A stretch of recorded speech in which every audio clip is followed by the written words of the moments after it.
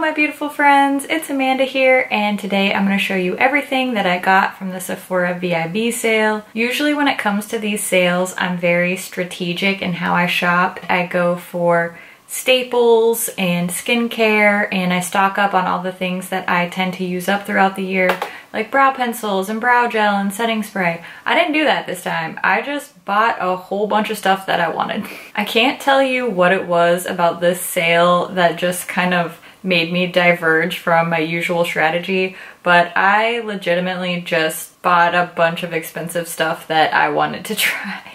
I just finally bought all those things that had gone in and out of my shopping cart for weeks or months on end. You know what I'm talking about? Do you ever put stuff in and then take it out and then put it on your loves list but never buy it?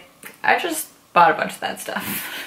I went and shopped in store on the first day of the sale and then after that I placed an online order. When I was in the store I had a few things that I was specifically looking for and then I ended up kind of impulse buying a couple things. These are two of those impulse buys. I grabbed this Sephora brand coconut lip balm because coconut lip balm. Coconuts and lip balms are some of my favorite things in the world so when the two get combined it goes into my cart. I also picked up this mini set from Tatcha. I hear so much about this brand and their products are really expensive, so I like that I can test some things from the brand without investing in a full size. So I'm actually testing out the Fourth Ray Beauty skincare right now. That's the ColourPop sister company. I ordered some things from Fourth Ray, so I'm using only Fourth Ray Beauty for 30 days. I will be bringing you guys a review after I complete my 30 days, so this will have to wait just a couple more weeks, but I'm excited to finally try something from Tatcha. One of the things I was specifically looking for in store was this French press lip gloss from Bite Beauty. I ended up with two shades. and I'm wearing one of them today. I'm wearing this lighter one called Salted Caramel. I also got a slightly deeper warm nude called Dirty Chai. I swatched a bunch of the shades. Everybody's talking about the shade called Flat White. That's just a little bit too pale for me, but these shades are so beautiful. I've actually been wearing them, particularly this salted caramel shade, for a couple days since I picked them up. They smell like coffee. They're so yummy. Again, it's kind of like that coconut lip balm. It's like, I love coffee, I love lip gloss. Why not combine the two, right? Speaking of lip gloss, did I also get a third nude lip gloss? yes, I did. This is the Tarte H2O gloss in the shade Hang 10.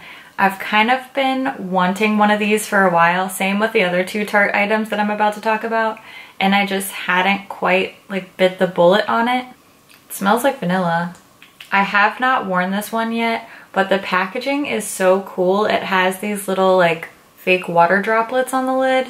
I love the Tarteist Glossy Lip Paint, so I have a feeling that I'm probably gonna love this too. These are also from Tarte. These are the Chrome Paint Shadow Pots. I got the shade Sundrenched, which is like a warm pale copper, and Top Yacht, which is a champagne pale gold. I went and swatched these in store and they look so, so beautiful. Top Yacht was out of stock at my store, so this one dropped right into my online cart. I've heard a lot of people talking about how awesome these are, particularly Sam Ravndal, who I love her. I don't know if you know this about me, but I have like a giant lady crush on her and she raves about these, so I blame Sam for this purchase. Holy crap-a-moly. Do you see that? What? This is Top Yacht. Here, let's just do a little swatch of Top Yacht, shall we?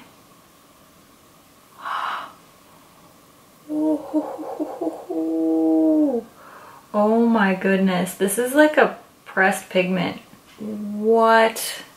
Wow. I bought some very luxury items. I would never buy these things if they weren't on sale, but once that 20% off just like hits my brain, it's like, buy Dior, and so I did.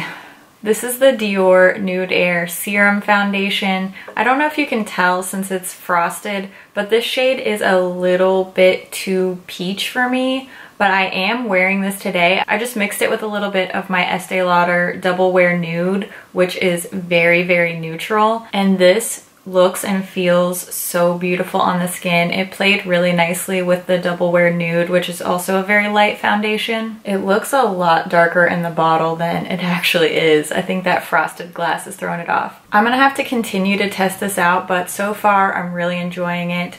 Really nice and light on the skin. I like that. I like that in a foundation. I've been staring at this palette for so long on Instagram.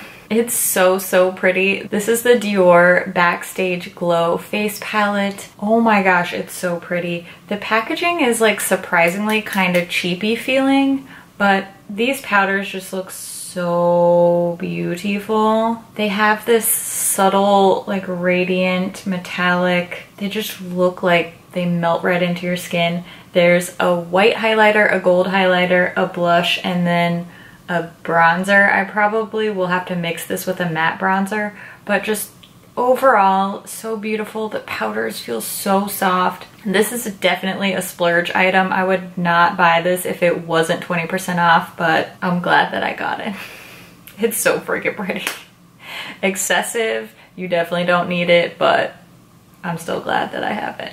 Apparently I just went face palette crazy because the last two things in my haul are also face palettes. This little blush duo from Jouer is something that I've been wanting to get my hands on for a while. This is online only from Sephora. I got the shade Adore and it's a very subtle peachy nude. I am wearing both of these blushes mixed together today and they just look so soft and so natural. The packaging is super cute. So far, I'm very, very happy with this purchase, but I have to say, this is the box that it came in and this is the blush.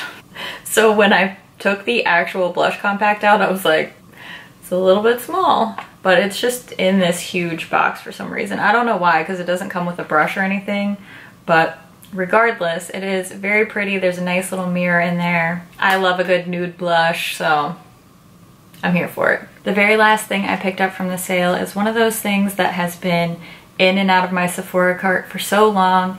I finally went for it. I got my first ever Anastasia Glow Kit. This is the Sugar Glow Kit. I am wearing two of these highlighters mixed together on my face today. I used Starburst kind of all over my cheeks and then I used Marshmallow just like right here at the very top to get that multi-dimensional glow. I've heard these glow kits raved about for so long and I kind of held off on buying them because I have tons of highlighters and these are huge pans. These are huge highlighter pans. There's four of them. Two of them are quite glittery, which aren't really my jam. The two that I didn't use, Gumdrop and Butterscotch, look pretty glittery but I felt that it was just time for me to try these out after hearing so much hype. Plus, you can't tell on camera, but this whole packaging is like sparkly and glittery and once I set my eyes on this glitter, I was just like, it was like a tractor beam. It just like sucked me in. So that's everything I picked up from the sale. If you want more info on any of these products or you think that I should do a dedicated video about any of these, leave a comment and let me know and I'll try to make that happen for you. I also want to know what you picked up from the sale. Are you already making your holiday shopping list now? Leave a comment and let us know what you think. As always, thank you so much for watching and I'll see you in my next video. Bye. Can you talk? No? Okay, great. Time to make a video. B sale haul, haul, dang it. Doing great. Just to these st stales. Don't judge me. Oops. What? Not doing well today. Okay, that's fine. The full-size product, there's a fly in here. What? Are, are you, sir? Are you lost? A slip lip, lip, lip, lip gloss? I can't. Obviously, that's why you bought it. Oh, I am gonna just put fingerprints all over this packaging. That's gonna drive me nuts. It looks beautiful. The Dior, what are you? Today is gonna be one, fly. And I'm not sorry about it. And FYI, I'm wearing the Emily Noel the Wants palette on my eyes today and I did film this look. So if you want to see this eyeshadow look, that is either the video that I posted before this one or the next one I'm going to post. So stay tuned for that. But I'm feeling like major Gryffindor vibes from this eye look and I'm not mad about it.